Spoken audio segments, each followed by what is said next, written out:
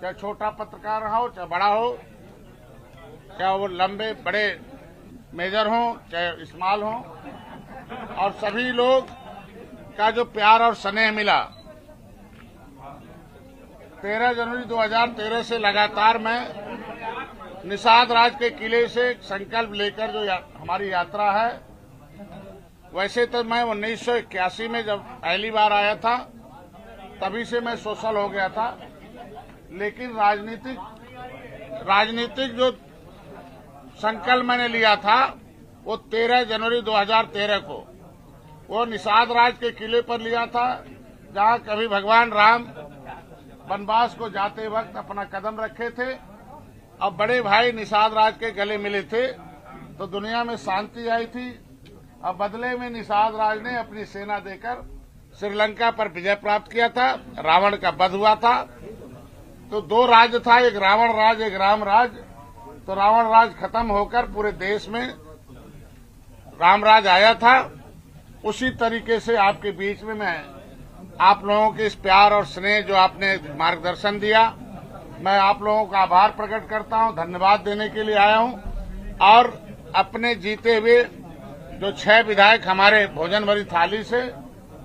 और पाँच विधायक ऐसे हैं जो भारतीय जनता पार्टी के सिंबल से हैं। उनको हमने, आपके बीच में आज वो हमारे पार्टी के एक निषाद पार्टी के, वो ग्यारह विधायक एक बल हैं, एक शक्ति हैं, और जो हमारे जो पाँच हार गए, वो बहुत कम मतों से हारे हैं, दो से तीन हज़ार। उन्हें भी हम जीता ही मानते हैं, क्योंकि हमने नौ सीटें जो है 2017 में भारतीय जनता पार्टी वहाँ लूज हो गई थी। हम चुनाव नहीं, चुनौती स्वीकार करते हैं। उस नौ में से मैं छह जीत कर दिखाया हूँ। और आपके बीच में जिस तरीके से राम निषाद राज जी को गले लगाए थे,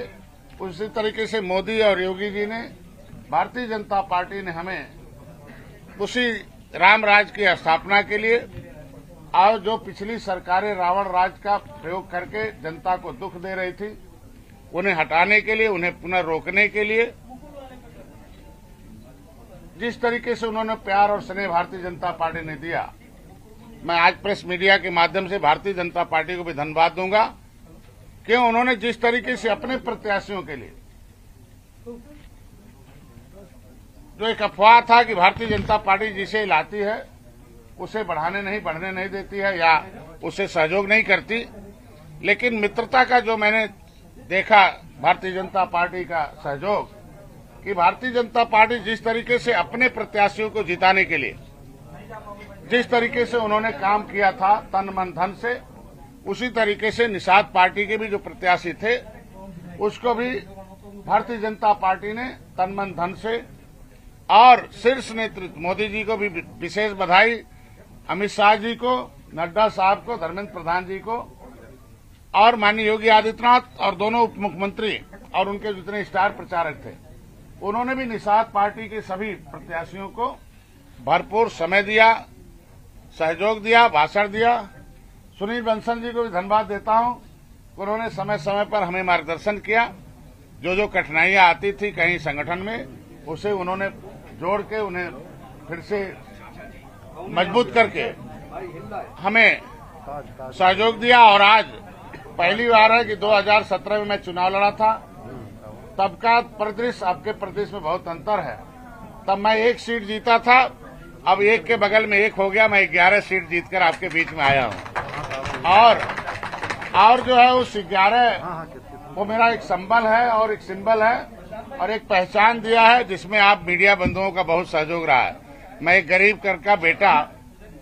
बिना किसी साधन, संसाधन के,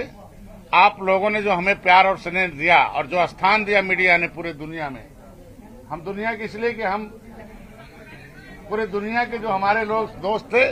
वो लोग धन्यवाद देते थे बारह बजे रात के बाद। वहाँ चूँकि रात में दिन होता है। आज का जो प्रेस कॉन्फ्रेंस है,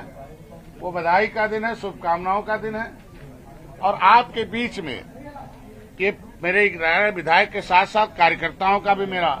आज का उनकी कार्यकर्ता ऋण होते हैं, जिन्होंने जिताया है।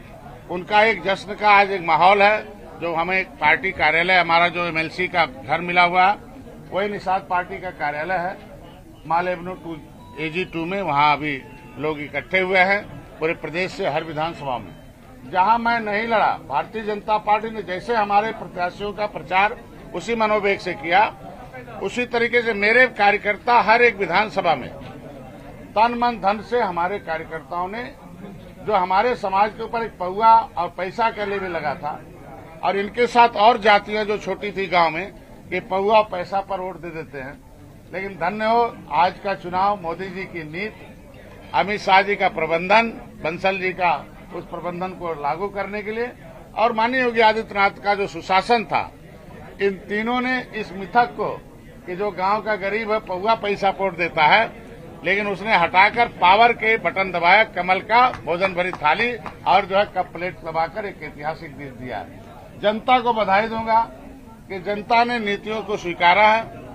और जिन लोगों ने इनको ठगा था सत्तर साल से, धोखा दिया था वोट लेकर, और ट्रेडिशनल जातियों के चक्कर में पड़कर, कि जब वो सत्ता में आते थे, चाहे सपा हो, चाहे बसपा हो वो सत्ता में अपने ट्रेडिशनल वोट बैंक को ध्यान देते थे, बाकी जातियों को पीछित रखते थे, और उस ट्रेडिशनल वोट बैंक में भी जो गाँव का गरीब था, वो भी छूट जाता था।